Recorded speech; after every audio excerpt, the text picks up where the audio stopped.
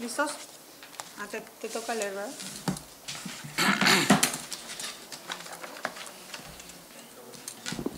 Muy buenas tardes, diputado secretario. Buenas tardes, diputada Cristina, diputado. Diputado Edgar Gasca.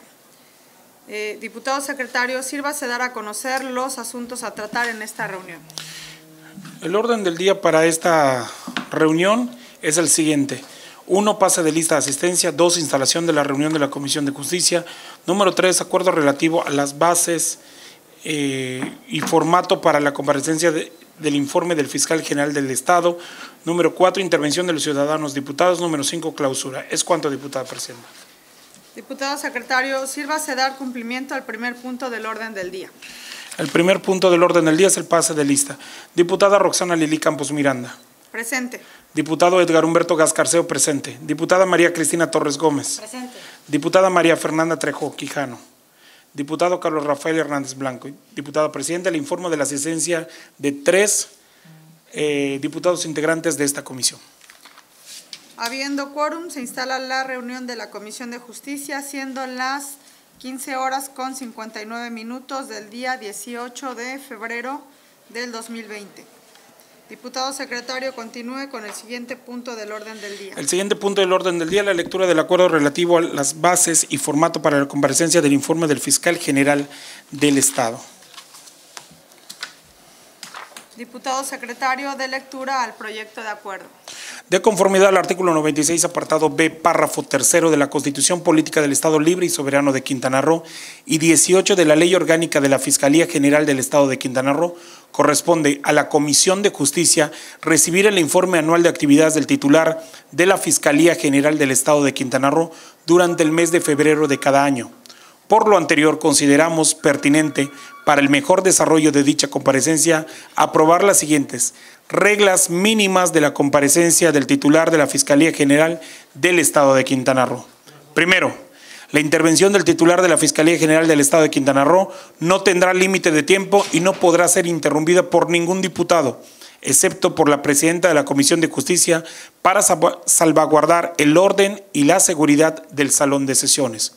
Segunda, las preguntas y o comentarios por parte de los diputados deberán ser respetuosas y versar sobre el contenido del informe anual de actividades del titular de la Fiscalía General del Estado de Quintana Roo. Tercero, al término de la intervención del titular de la Fiscalía General del Estado de Quintana Roo, se procederá a abrir una ronda de preguntas y comentarios y respuestas por parte del diputado designado por cada grupo legislativo el cual tendrá hasta por cinco minutos su intervención.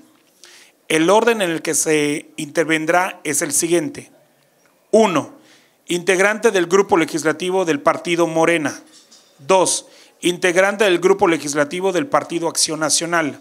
Tres, Integrante del Grupo Legislativo del Partido Verde Ecologista de México. Cuatro, Integrante del Grupo Legislativo del Partido del Trabajo. 5. Integrante del Grupo Legislativo del Partido de la Revolución Democrática. 6. Integrante del Grupo Legislativo del Partido Revolucionario Institucional. 7. La representación legislativa del Partido Movimiento Ciudadano. Y 8. La representación legislativa del Partido Movimiento Auténtico Social.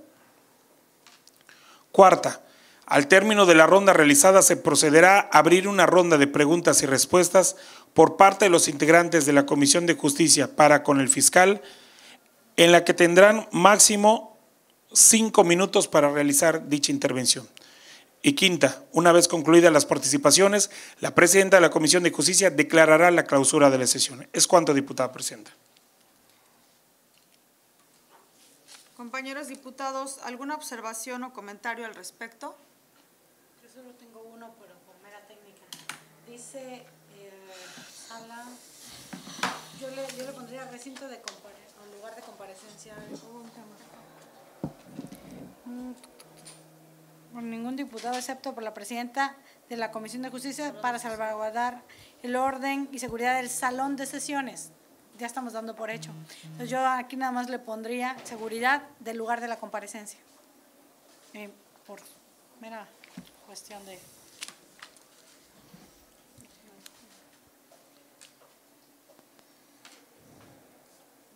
En lugar de salón de sesiones, del lugar de la comparecencia.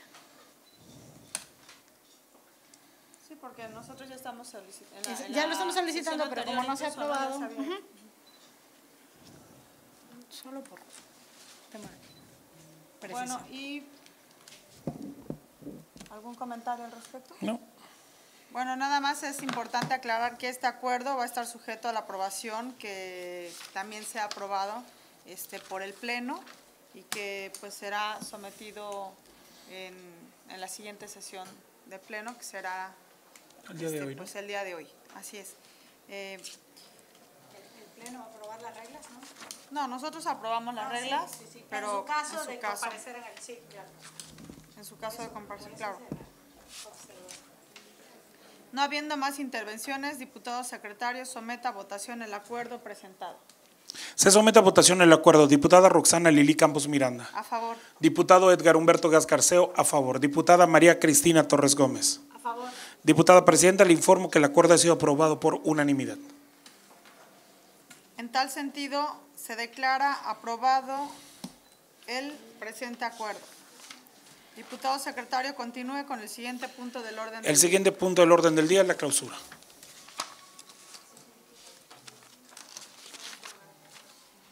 Firma. Listo.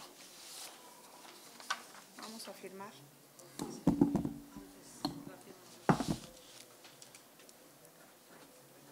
Procedemos a la firma del acuerdo.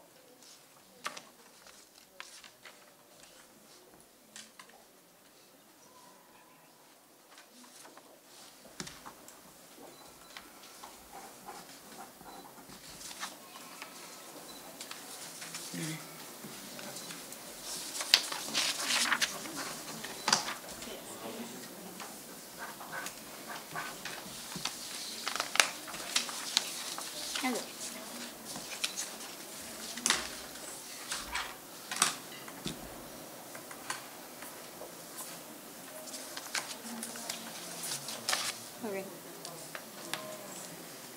Bueno, en tal virtud, procedemos a la clausura eh, de esta reunión de, comisión de, de la Comisión de Justicia, siendo las 16 horas con 5 minutos del, 18 de- del día 18 de febrero de 2020. Muchas gracias a todos por su amable asistencia. Gracias.